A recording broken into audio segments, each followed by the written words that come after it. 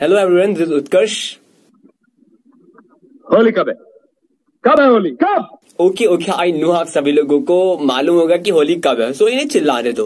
Holi is a festival of love and colour but ये colour आपको नुकसान भी पहुँचा सकता है। क्योंकि मिलावटी और केमिकल बेस्ड कलर आजकल बहुत ज़्यादा मार्केट में है। और अलग ब्रांड्स के बहुत से हर्बल कलर मार्केट में बिक रहे हैं। सॉरी मैं किसी का नाम नहीं लेना चाहता। हर पैकेट के ऊपर आपको जो एक चीज़ कॉमन मिल जाएगी यार, वो क्या है? डेट इज़ हर्बल कलर दरअसल ये सारे कलर आपके हथरस से तैयार होके आते हैं।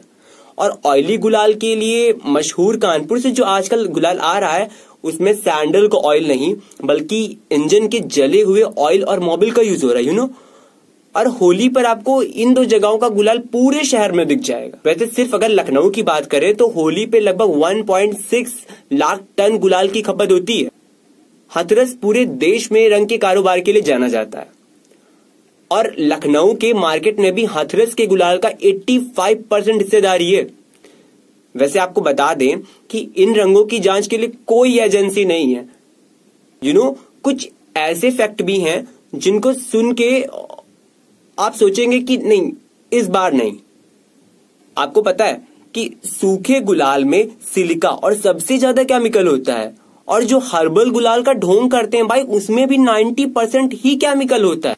तो आप सोच रहे होंगे कि ऐसा कौन सा कलर है जो हम यूज़ करें?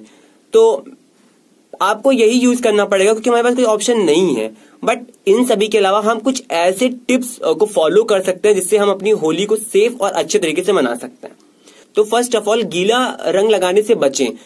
क्योंकि गीला रंग आसानी से नहीं छूटता। इसीलिए आपको सूखे गुलाल को यूज़ करना चाहिए। होली खेलने से पहले आपको अपनी बॉडी के ऊपर नारियल का तेल, सरसों का तेल या कुछ ऐसी चीज़ें यूज़ कर लेनी चाहिए जिससे आपका वो जो रंग है वो आसानी से छूट जाए। मोस्ट इंपॉर्टेंट अगर आपकी बॉडी पे रंग लग जाता है तो उसको बार बार छुटाने के लिए साबुन मत लगाएँ। इससे आपकी बॉडी पे क्या रैशेज हो सकते हैं और आपकी बॉडी पे कोई एलर्जी भी हो सकती है।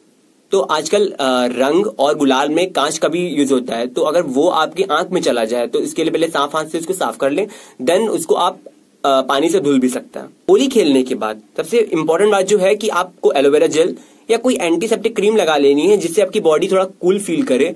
इस तरह से आप अपनी होली को सेफ़ एंड इंजॉयबल बना सकते हैं। तो ये था मेरा आज होली स्पेशल वीडियो मिलते हैं किसी नेक्स्ट वीडियो में। तब तक के लिए happy Holi in advance bye bye